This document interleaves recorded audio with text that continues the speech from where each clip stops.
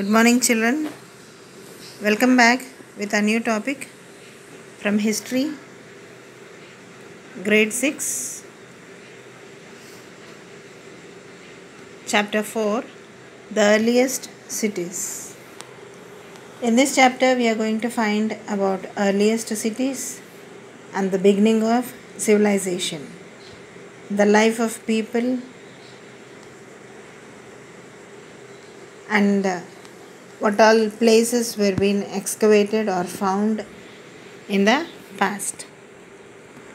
So let us go deep into the lesson. An ancient city. A railway line was being laid near the river Ravi in Pakistan in the year 1920. As they were digging the lay the track to lay the track, the engineers found ready-made high quality bricks. they quickly started taking them away to build other structures. They kept finding more and more bricks as they were working later. And uh, the, fa- and the archaeologist realized that it was actually an ancient city that engineers had found. As people had taken away so many bricks, they had destroyed so many buildings that were more than 5000 years old. They were properly planned cities, not just big villages. These cities were planned and were divided into sections. There were public areas, office areas, drainage system, residential areas, everything that the city today has. the cities were divided into two or more parts. There was a citadel which was built on higher ground. The other parts of town were built on lower ground. The citadel was built on a raised platform. It had special buildings like city, offices, granaries, workshops, etc. If there were floods in the city, the people would come to the citadel to be safe.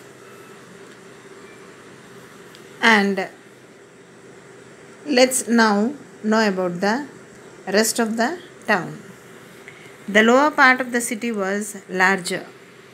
It had houses where the people of the city lived. This part was separated from the citadel by, by walls of baked bricks. The baked bricks walls were like of very good quality. The bricks were laid in interlocking patterns that made it strong. And the houses they constructed were the houses in these cities were one floor or two floor high. they preferred to two storied houses. The houses were built with courtyard and staircases. Houses had thick walls and high ceilings. They kept the rooms cool in the hot summer months also. The floor of the houses were kacha. Roofs were flat and detached. The houses had courtyards, doors, windows, and narrow stairs. In one of the corners of the house, there was a kitchen. Most of the cooking was done in the courtyard of the house. Many houses were built with bathing areas and had water supply from nearby well. This is a well, it looks like a chimney because the soil around it has removed. The houses had internal plumbing and uh, some houses ever had primitive well sorry private well. The houses had a private well. The private wells would be maintained or made longer over the larger over the years. Almost every house had a private bathing area with drains to take the used water away. These bathing areas had water and tide floors too We see a lot of variety in the size of homes in Harappa cities. Some homes were as small as single rooms like dorm, dormitor, dormitories. Some houses are bigger. Some have several rooms and many courtyards too. And let's know about the public bathing.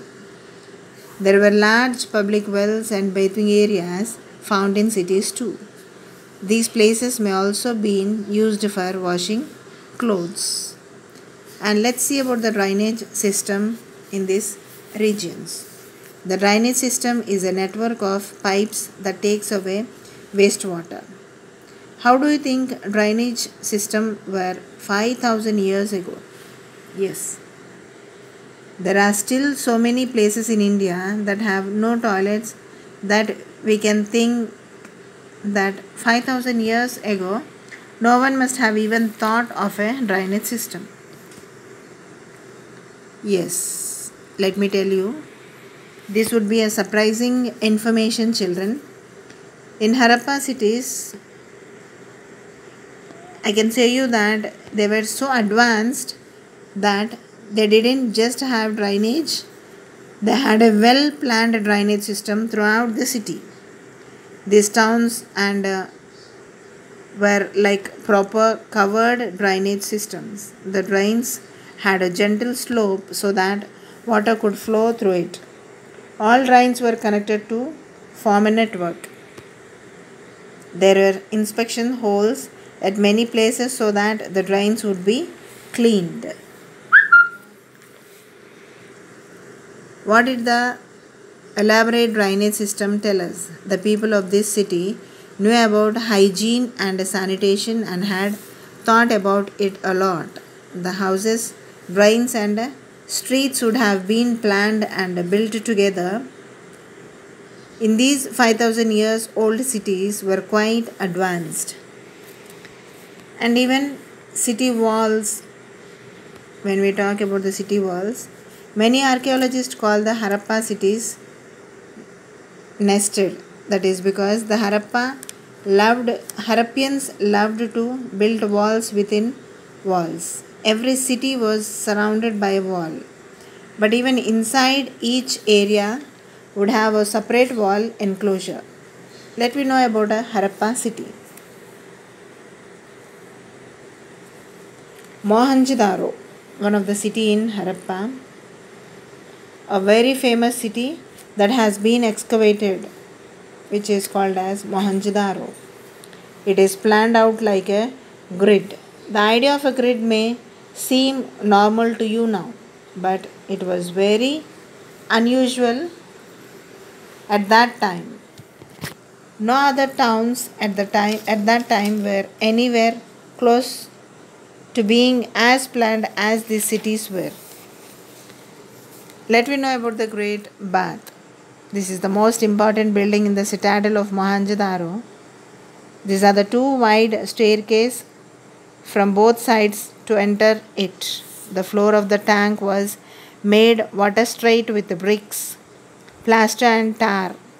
This is the earliest public water tank in the ancient world. The tank measures 12, 12 meters in length and is 7 meters in width.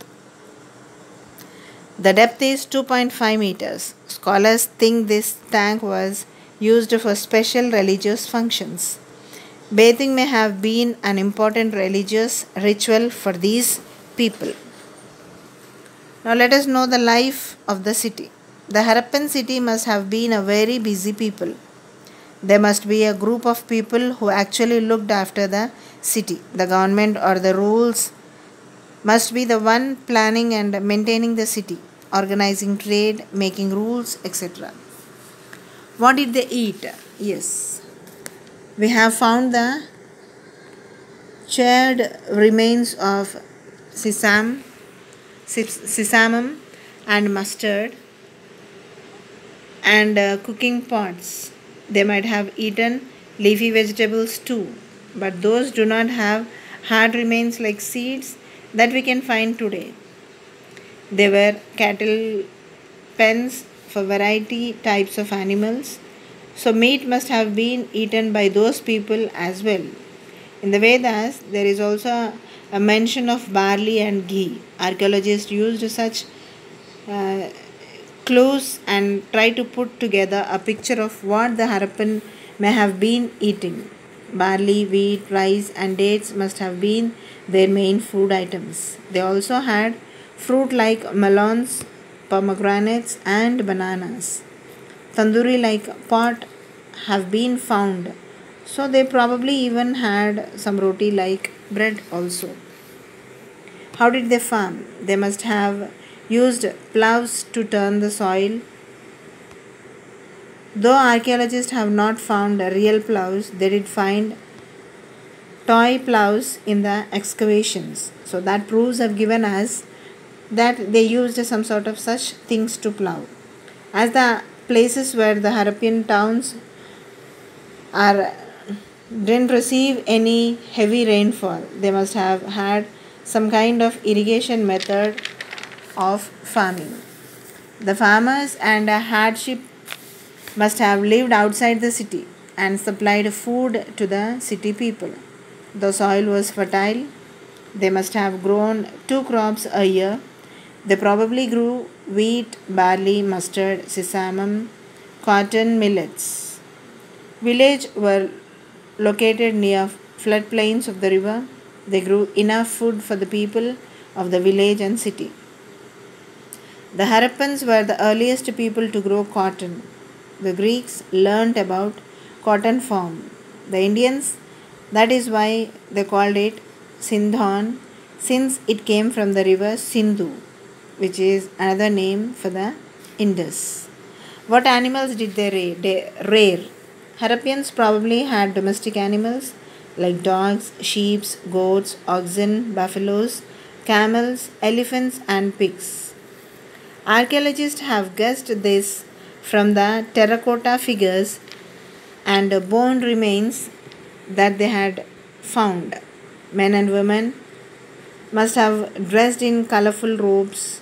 They had a cloth around their lower body like a skirt and other fabrics for their upper body. Men may have also worn a headdress and uh, did they use any jewelry? Yes, women wore necklace, bangles, bracelets, earrings, and uh, waistbands. Ornaments were made of gold, silver, bone, stone, ivory, and shells. The rich wore jewelry made of gold and silver. The poor used to wear shells, copper, silver ornaments. Women combined their hair and uh, used mirrors made from shiny coppers. What did they do for fun? The Harappans probably enjoyed dance. There are statues of dancing girls and dancing figures on scales that were found in the city. Days have been found. So the Harappans may have played board games. A large public bath was found at Mohenjo-daro. So bathing was probably an important activity too where Harappans, what were the Harappan religions? A lot of statues have been found which suggest that the Harappans worshipped a mother goddess. There are seals with Pashupati and Shiva lingas. Pashupati is considered to be the god of cattle. It is also possible that the Harappans were fire workers. We can say that because many fire altars have been found in the city. The later Harappan seals also show images of the swastika, which is an important symbol in Hinduism. The early Harappans buried their dead with food and dead people with food and articles. They probably believed in life after death. The later Harappans were cremated and their ashes were buried in urns, quite similar to what the Hindus do. We know this because there were special areas for cremation which have been excavated by the archaeologist. There may have been a religious head of the people. Some statues have been found that look like a priest king. Harappan jobs.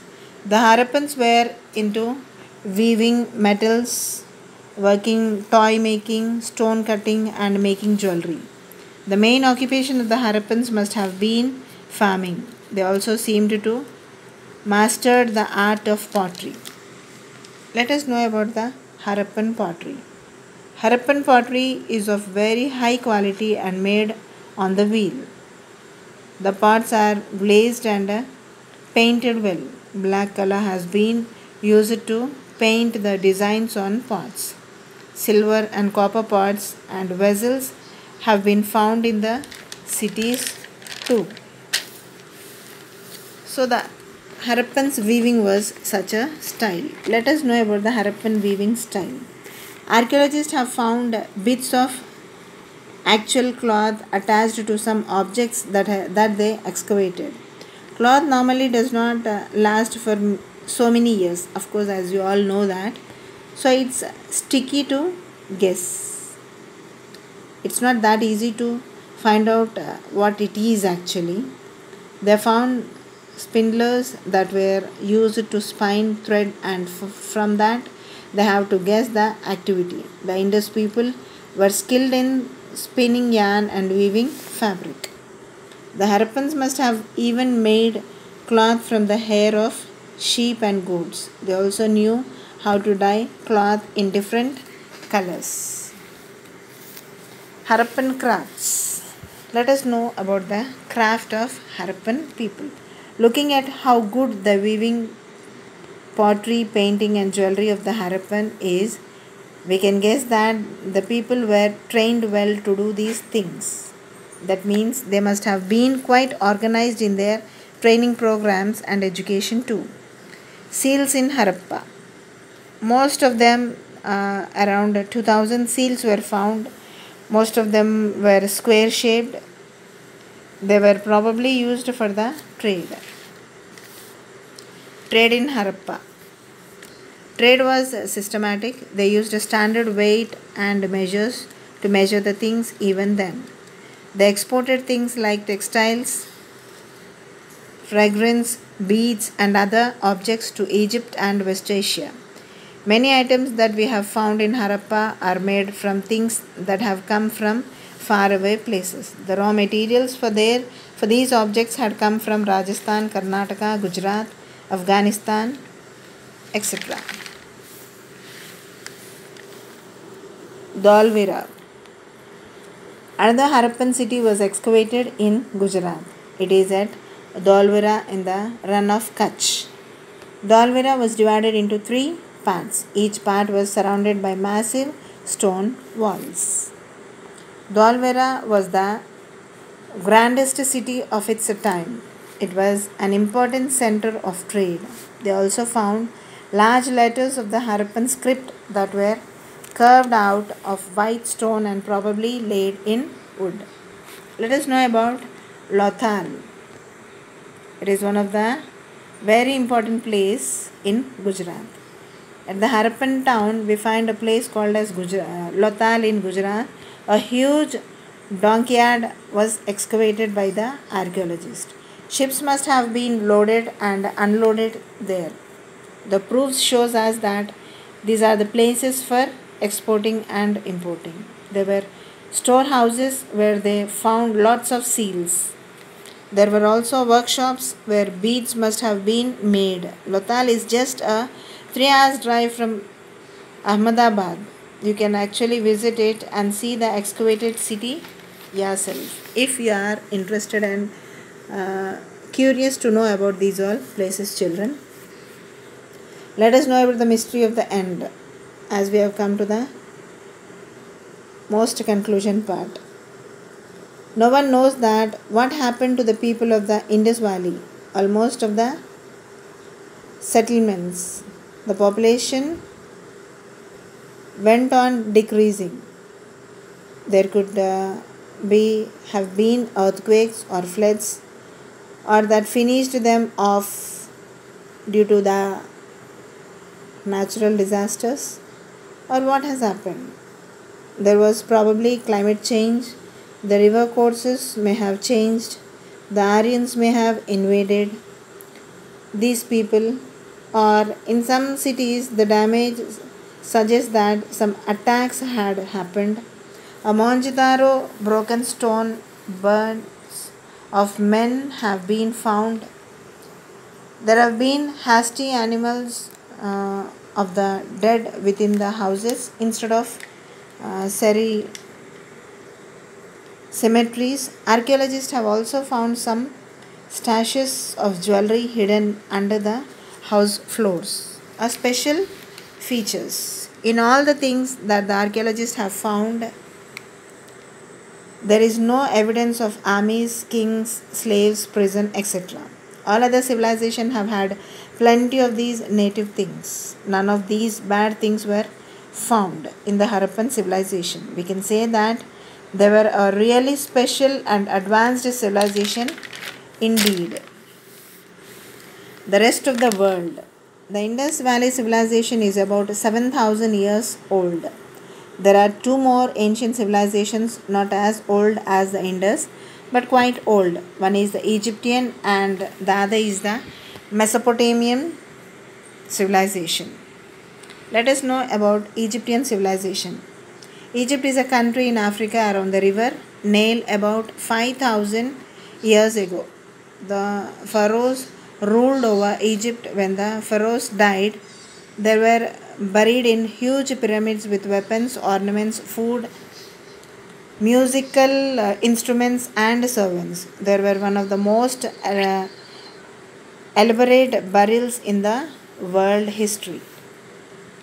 Mesopotamian civilization, let's know about it. This was in the region of Iran, Syria, and Turkey. It wasn't one civilization but a mixture of many. They had lots of go- gods and lots of temples. Archaeologists believed that this was where the wheel was invented.